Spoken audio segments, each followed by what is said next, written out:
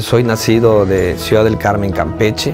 Provengo de una familia muy sólida. A la edad de nueve años, uno de los primeros oficios formales que tuve, que era cuidar bicicletas. Y ese ejercicio eh, me llevaba siempre a asumir desde muy niño una responsabilidad, porque la entrada a trabajar a este lugar era a las seis y media de la mañana. Primero de julio, Oscar Rosas, senador.